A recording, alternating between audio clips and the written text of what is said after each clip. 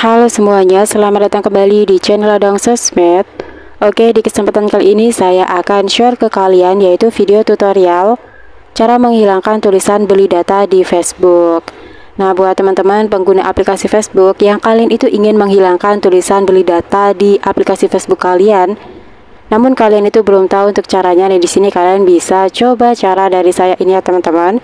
Karena di sini saya akan membagikan caranya dengan cepat dan mudah. Namun seperti biasa sebelum kita ke tutorialnya, bagi teman-teman yang baru bergabung jangan lupa like, comment, and subscribe dan nyalakan tombol loncengnya agar kalian tidak ketinggalan video-video terupdate dari channel Ladang Sosmed. Nah oke langsung aja kita ke tutorialnya. Di sini kalian bisa langsung masuk ke aplikasi Facebook kalian ya teman-teman. Kalian tap aja. Oh ya, sebelumnya di sini teman-teman juga bisa tonton video saya yang lainnya, yaitu cara kunci foto dan video di Google Foto HP Realme. Untuk videonya kalian bisa tonton di pojok kanan atas ini ya teman-teman. Nah, oke di sini kalau kalian itu sudah masuk ke aplikasi Facebook kalian, di sini kalian bisa lihat ya teman-teman di Facebook aku itu masih ada tulisan beli data. Ini dia yang berada di pojok kanan atas ini. Nah, di sini cara untuk menghilangkannya itu mudah banget. Kalian bisa masuk ke pengaturan di HP kalian yaitu garis tiga yang berada di pojok kanan atas, kalian tap aja. Nah, oke, setelah itu di sini kalian bisa scroll ke bawah. Kalian bisa masuk ke pusat layanan seluler Telkomsel ini ya teman-teman kalian tap aja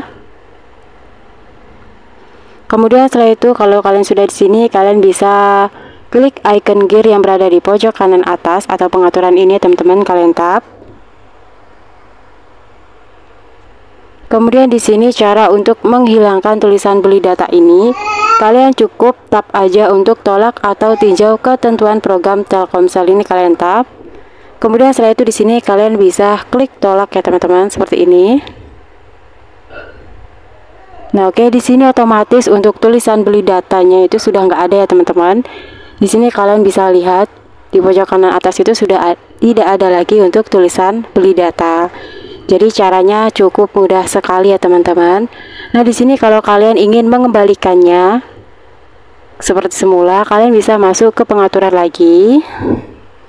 Kemudian kalian masuk ke pusat layanan seluler. Kalian tap. Setelah itu kalian masuk lagi ke pengaturan, kalian tap. Kemudian di sini kalian bisa pilih yang setujui mode dasar plus ini ya teman-teman. Kalian tap seperti ini. Kemudian kalian bisa pilih lanjutkan yang ini ya teman-teman kalian tap. Nah, oke, okay, di sini otomatis untuk tulisan beli datanya itu akan kembali lagi. Nah, oke, okay, caranya cukup mudah sekali ya, teman-teman. Nah, sebelum saya tutup, teman-teman juga bisa tonton video saya yang lainnya, yaitu cara mendapatkan banyak like di Facebook. Untuk videonya kalian bisa tonton di link deskripsi di bawah ini ya, teman-teman. Nah oke okay, mungkin itu aja teman-teman video tutorial dari saya itu cara menghilangkan tulisan beli data di Facebook Semoga video tutorial ini bermanfaat Sekian dan terima kasih